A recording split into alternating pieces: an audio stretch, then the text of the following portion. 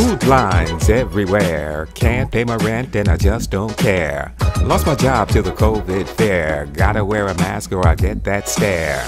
New rules everywhere. Try to make some money so I pay my share. Children ask, is this fair? Stuck in the house, can't go nowhere. It's like a jungle sometimes.